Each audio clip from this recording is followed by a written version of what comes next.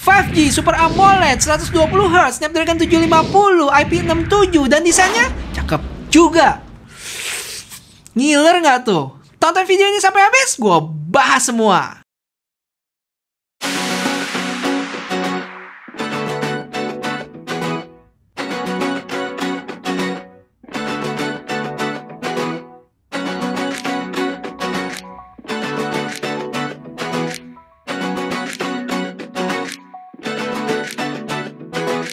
Yo guys, balik lagi sama Fendi, Sudah Cepu Iya iya iya, gue dengerin kalian kok. Dan ini dia Samsung Galaxy A52 5G dan di video kali ini juga gue bakal bandingin ya sama yang A52 bukan 5G-nya dari sisi spesifikasi.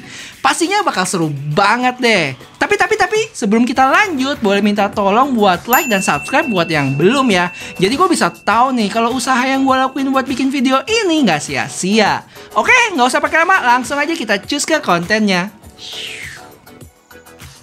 HP ini ada empat warna ya, ada hitam, biru, putih, sama violet atau ungu gitu. Untuk varian dan harganya itu dia ada yang 8 plus 128 seharga 5,3 juta dan 8 plus 256 seharga 7 juta rupiah. Entah kenapa agak jauh ya bedanya, tapi itu harga officialnya. Untuk harga offline-nya itu gue dapat di 5,1 juta untuk yang 128 dan 6,3 juta untuk yang 256. Malah gue lihat ada yang lebih murah lagi loh dari itu, cuman sayangnya stoknya lagi habis habis. Apakah bakal sama harganya pas launching di Indonesia nanti? Hmm, mungkin bisa lebih murah ya, tapi jujur gue nggak tahu pasti nih. Daripada nebak-nebak, kita tunggu aja informasi kelanjutannya dari Samsung Indonesia. Ini dia boxnya yang mirip kayak Samsung A22 5G. Kalian bisa cek videonya buat yang belum nonton. Di sini ada tulisan Galaxy A52 5G, gambar HP-nya dan Samsung. Di samping tulisan Galaxy A52 5G warna ungu. Habis itu nggak ada lagi sih. Langsung aja kita buka kotaknya. Pas dibuka ternyata ada kotak kecil yang nempel di bagian atas boxnya loh. Di sini ada SIM ejector dan buku petunjuk. Habis itu HP-nya itu sendiri, kepala charger 15 watt, dan kabel chargeran Type A ke Type C. Dah gitu aja, dan langsung kita keletekin plastiknya. Saat dinyalain udah langsung disambut sama One UI 3.1 berbasis Android 11. Untuk storage-nya itu udah kemakan 24 GB dari 128 total punya gua. Terus skor Antutu versi 9-nya itu dapat hampir 400 ribu loh. Dan ini dia hasil skor Geekbench dan 3D Max-nya. Impresi gue tentang HP ini, Wah, udah kelihatan kayak HP premium ya. Dimulai dari bagian depannya dengan warna violet yang cukup lembut dan frosted gitu.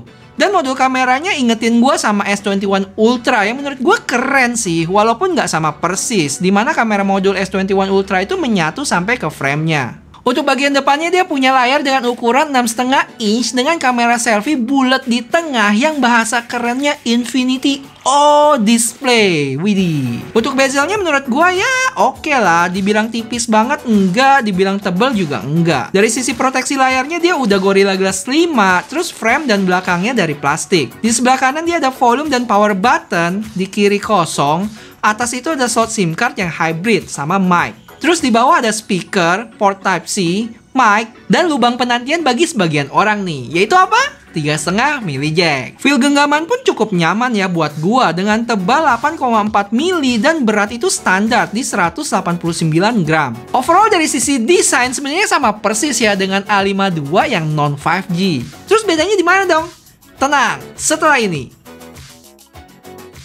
Oke, kita lanjut ke spesifikasinya. Sekarang gue bakal bahas bedanya sama yang varian non 5G. Kita mulai dari layarnya yang punya ukuran 6,5 inch Full HD+. Habis itu pakai teknologi Super AMOLED dan refresh rate-nya nih yang beda, yaitu dari 90 Hz sekarang meningkat ke 120 Hz. Terus dari sumber yang gue dapet, proteksi layarnya juga terjadi peningkatan loh, yaitu ke Gorilla Glass 5, di mana sebelumnya Gorilla Glass 3. Untuk sisi performance juga terjadi peningkatan dari sisi chipsetnya, yang mana untuk varian 5G ini dia pakai Snapdragon 750G, sedangkan yang non 5G itu 720G, yang mana sama-sama 8 nanometer. Terus untuk GPU-nya Adreno 619 yang mana sebelumnya 618. Habis itu 8GB RAM LPDDR4X dan storage-nya 128 atau 256 GB. Untuk baterai masih sama persis 4500 mAh yang support 25 watt fast charging. Cuman sayangnya dapat chargeran cuma 15 watt. Gimana dari sisi kamera? Nggak ada perubahan ya, dia sama persis. Yang mana dia punya 64 megapiksel kamera utama yang udah ada OIS-nya loh. Habis itu 12 megapiksel ultra wide, 5 megapiksel makro, 5 megapiksel depth, dan kamera selfie-nya itu 32 megapiksel. Untuk spek lainnya itu tentunya dia udah 5G, yang mana versi sebelumnya baru 4G ya. Habis itu hybrid SIM dengan micro SD yang up to 1 tera. Stereo speaker, NFC, 3,5 mili jack, sama satu menarik nih, sertifikasi IP67. Yang mana bisa berendam sedalam 1 meter selama 30 menit. Untuk fingerprintnya cukup responsif ya di sini, dengan animasi yang gue matiin juga. Dan ini dia kualitas speakernya yang menurut gue cukup baik loh.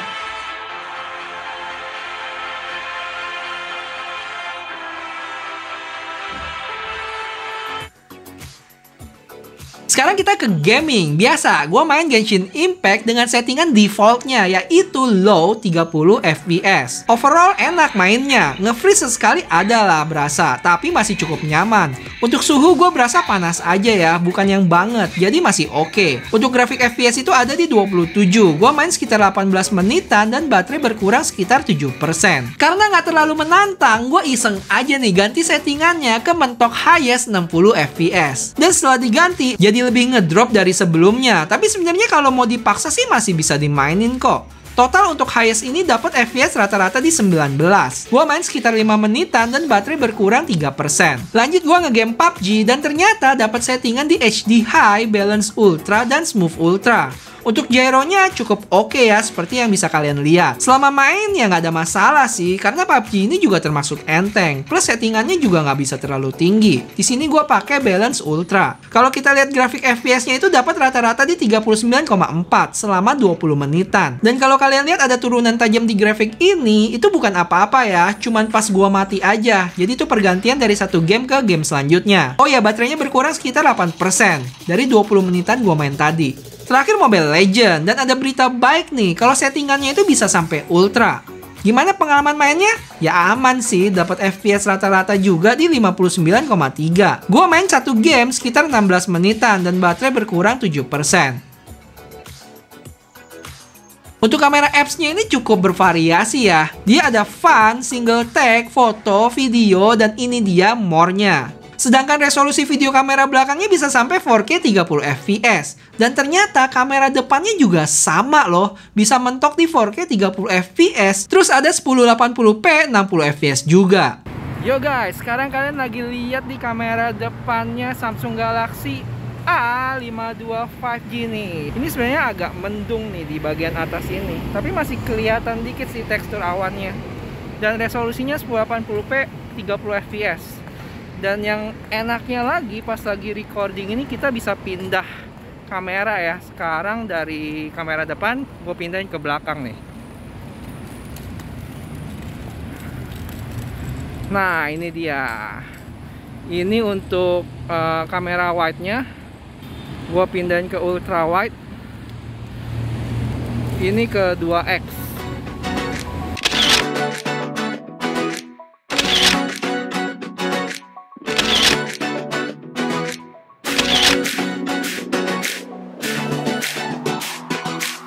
sekarang resolusi 4K 30 fps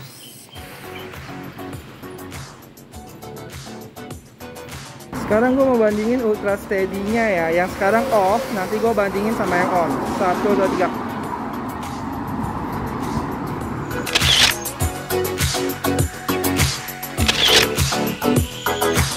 Udah guys, segitu aja videonya. Akhirnya gue udah jalan satu putaran nih sekarang yang kalian lihat di 1080p 60 fps nih ya gua balikin ke kamera belakang.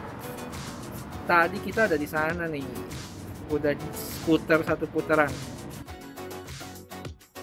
Sampai sekarang belum ada informasi resmi ya dari Samsung Indonesia kapan bakal di launching di Indonesia. Tapi dari berita yang gue dapat, lebih tepatnya dari IG Berita Gadget, kalau HP ini ternyata udah dapat sertifikasi postel loh. Jadi ada secerca harapan nih kalau HP ini bakal keluar di Indonesia. Ya semoga aja. Oh ya serius nih satu, gue punya pertanyaan buat kalian. Kalau dibandingin sama yang A52 non 5G-nya, sebenarnya fitur apa sih yang paling kalian tunggu dari HP ini? Apakah 5G-nya itu sendiri? Chipsetnya? Atau refresh rate 120 Hz-nya? Atau apa? Yuk coba kasih tahu gua di komen bawah. Ya deh guys, segitu dulu videonya. Semoga bermanfaat dan kalau emang bermanfaat boleh minta tolong gua buat like dan share video ini ya dan subscribe juga buat yang belum. Oke oke oke oke. Sampai ketemu di video selanjutnya. Bye bye.